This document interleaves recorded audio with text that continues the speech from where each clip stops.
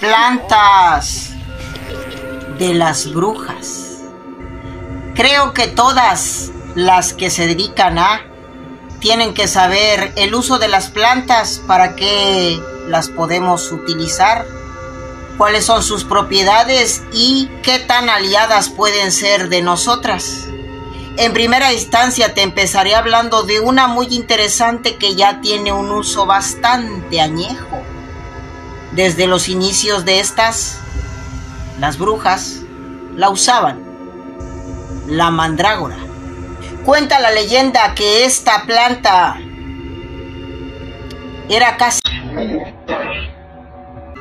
Porque al arrancarla tenían que hacerse de un conejillo de indias para hacerlo, con engaños, porque sabían perfectamente bien que esta planta al ser arrancada emitía unos chillidos, los cuales el que escuchaba al haberla arrancado perecía o era condenado a... ya sabes qué. Esta es una planta muy esotérica, yo diría que la más si no es que la mejor.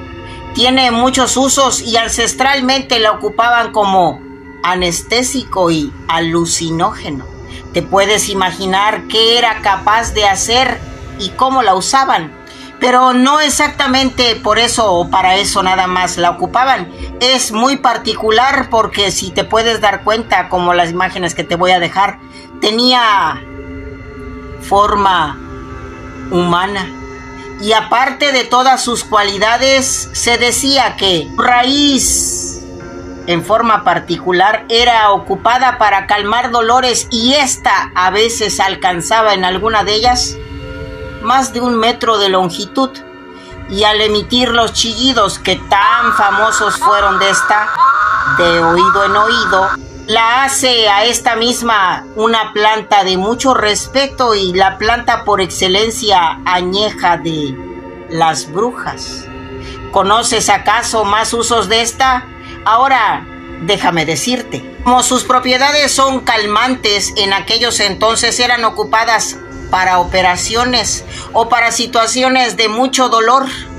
Entonces, aquellas brujas que eran traviesillas la ocupaban para hacer con esta demasiadas o varias pócimas que a sus víctimas iba a dormir o a calmar, pacificar, adormecer o como le quieras llamar y entonces ahí era el momento de acechar, era el momento de caer en cuentas y cobrarte la que te debían. Hojas, por ejemplo, remojadas en leche, las podías poner en úlceras y así éstas serán calmadas del dolor y quitadas.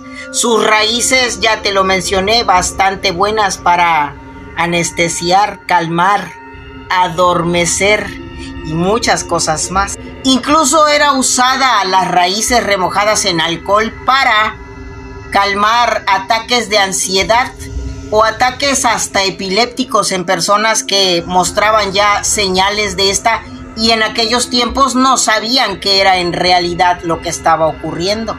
Pero lo más peculiar de la mandrágora, como te he hablado ya de sus usos, era los chillidos que nadie podía escuchar y mucho menos la persona que lo iba a arrancar. Por eso era necesario servirte de un siervo para poder así no ser presa fácil de esos terribles chillidos que cuenta la historia, acallaban al mejor postor que sin saberlo la arrancaba y caía destronado, ya sin voz. Ahora dime tú, ¿te has topado con una mandrágora? ¿La has hecho uso? ¿Escuchado sus chillidos? ¿Qué tanto hay de cierto en esta leyenda que se cuenta de las plantas de las brujas, en especial de la mandrágora. Regálame un corazón si te gustó la información y no menos importante, déjame una opinión. ¿Qué has hecho con la mandrágora?